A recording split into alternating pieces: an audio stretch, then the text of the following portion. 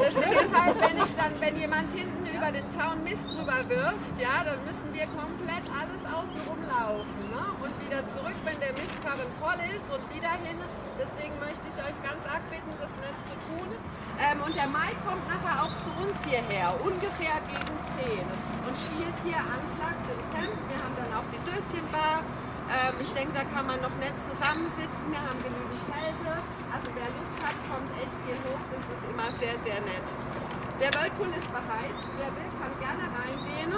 Ja, äh, man kann das drüber anmachen. Das ist äh, echt nett. Ich habe den bei mir im Stall stehen gehabt zum Ausprobieren. Es war echt dekadent, gell? Ich lag im Whirlpool und habe meine Pferde auf der beobachtet. Aber ich musste es ja testen, ob es funktioniert.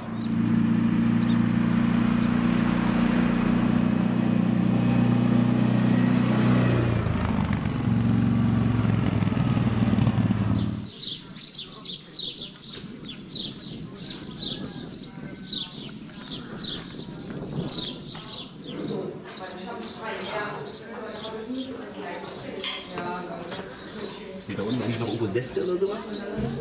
Bestimmt. Alles alle, oder?